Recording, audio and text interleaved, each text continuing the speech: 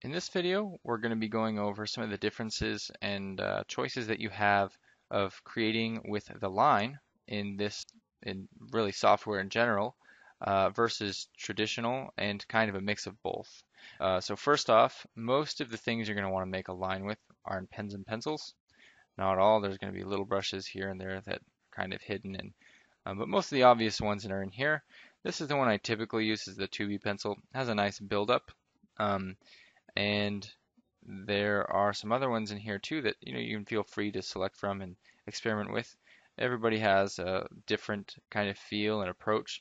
So again, I recommend you kind of check all these out. And um, in the end, we're just making lines. So uh, choose one and don't stress it too much. It's like I was saying, it's just a line. And this one, like I said, has a nice buildup. So even if I have a nice color here, it's still going to build up dark even up to black. And I kind of like that. It feels organic. Uh, the other thing is, is that you can choose how much grain that you have in some of these brushes. Not all of them have grain. The ink ones don't. Um, but this one does. And I can either take this brush and work kind of freehand like this. We're just going to do a sphere for this tutorial. You know, you can understand a little easier without having to get too worked up in kind of what theories I'm doing or all right, so kind of got a little overworked sphere here. And that was one way to make the line, okay? The other way is that I can come up here to my to my so these two selections here and one of them is the freehand stroke like I just explained and the other one is a straight line stroke and if you select that what you can do is make these kind of sticky points that go from one point to the other and although I'm adding this over my drawing uh, you can do this without. Uh, this can be kind of fun actually. Um, it seems like kind of just an odd tool, but you can actually stylize. You know, if you're doing a cup, for example. Oh, and if you want to reset it, you gotta go back here and then hit it again. If you want to do like a cup, you know, in fact, I think I just did a coffee cup the other day. It was kind of like this. You know, you can kind of get some cool, interesting, you know, simplifications with this that I actually like to practice before painting because what happens is is that I'm simplifying my form before that I am um, adding complex lighting and just kind of helps me with my planes and uh, can be pretty useful actually. So keep that in mind when selecting these. Uh, or again, I can use this. Uh, another tool that we have as far as lines is we have a perspective grid over here.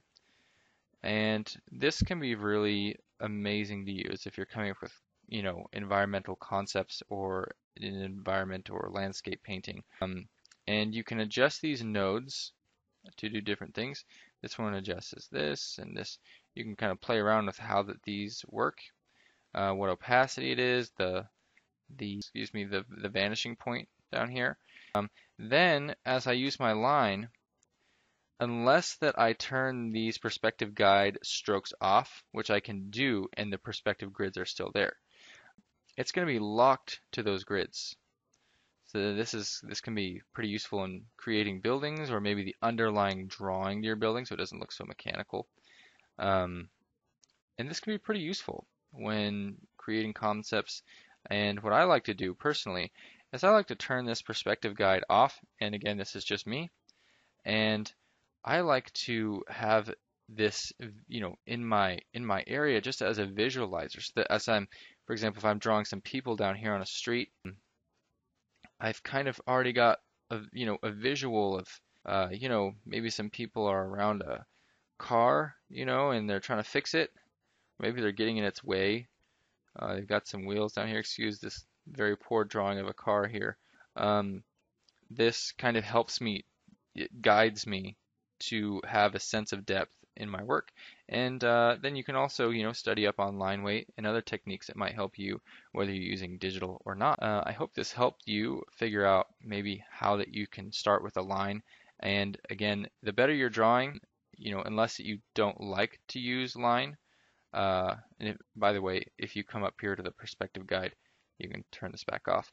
Um, as I was uh, unless you don't like to use line, the better your drawing, the better your painting is going to be afterwards too. So, you know, if I have this, you know, not just a sphere, but if it's like a Quidditch ball from the Harry Potter series, and if I draw this really, really well, you know, uh, it's got all the, I don't remember what it looks like, mechanical pieces, and it's got the wings, you know, um, I can, I can make this very well drawn, and then what it's going to do is it's going to help me in my painting, which we're going to go on to in a minute. Um, since I started with a sphere, I'm going to draw my sphere and uh, we'll go on to the uh, paint in the next video.